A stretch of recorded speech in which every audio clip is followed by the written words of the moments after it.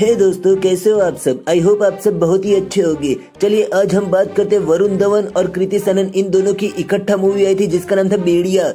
अरे सॉरी बेड़िया नहीं, भेड़िया। जिसे देख के हम सब के हाथों में लग गई थी बेड़िया। हम लोग पागल हो गए थे कि क्या देख लिया हमने। इसमें तो हॉरर भी है कॉमेडी भी है, मगर कैसा है, किस तरह का है? हमने तो एक्सपेक्ट किया था स्त्री मूवी जैसा, मगर इसमें तो बहुत लल्लू पंजू जैसा दिखाया था। मतलब की ये मूवी थिएटर में एकदम एवरेज थी। मगर काफ़ी सारे मेरे दोस्त लोग, भाई बंधु लोग देखना चाहते हैं इसको ओटीटी पे।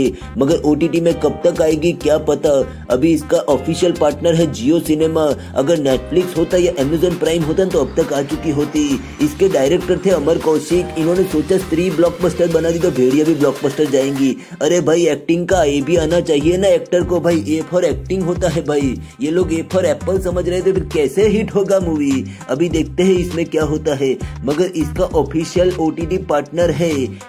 जियो सिनेमा याद रखना जियो सिनेमा ने ओल्ड बालाजी खरीद लिया वाईकॉम एटीन खरीद लिया वुड सिलेक्ट भी खरीद लिया, सब कुछ खरीद लिया और सबको उठा के वो अपने प्लेटफॉर्म पे डाल रहे इसलिए इसका हो रहा है डिले अभी ओटीटी पे कब तक आएगी, मुझे लगता नहीं है, फरवरी से पहले आने वाली है, क्योंकि 83 मूवी जब आई थी, काफ़ी महीनों के बाद वो आई थी, क्योंकि अभी जो जियो सिनेमा चल रहा है, वो धीरे धीरे अपग्रेड हो रहा है, वो बीटा में से फुल वर्जन में आ रहा है और फोर में आ रहा है फुटबॉल भी दिखा रहा है, इसलिए मुझे लगता लगता नहीं ये जल्दी आएगी, फरवरी के एंड तक या मार्च तक आपको देखने को मिलेगी। अभी तक विक्रम वेदा इनकी खुद की मूवी नहीं आई अभी। अभी पता नहीं ये लोग खुद की मूवी को इतना डिले क्यों करते हैं भाई? खुद की मूवी लाओ ना भाई। इकलौती तुम्हारी मूवी तुम्हारे प्लेटफॉर्म पे होगी तो व्यूज़ बढ़ेंगे।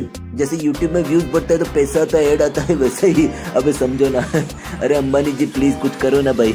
इस मूवी को जल्दी लाओ, मुझे भी देखना है इसको यार। दोबारा देखना है। भले ठीक ठाक मूवी है, मगर कृति सनन अच्छी लगती थी, इसमें इसलिए देखना है। आपको क्या लगता है, ये कब तक आने वाली है? लाइक करो शेयर करो सब्सक्राइब करो कॉमेंट में बताए। आपको क्या लगता है, स्त्री यूनिवर्स अच्छा जाएगा कि नहीं जाएगा? अरे सीखो कुछ स्पाई यूनिवर्स से मेरे भाइयों। जय हिंद, वंदे मातरम।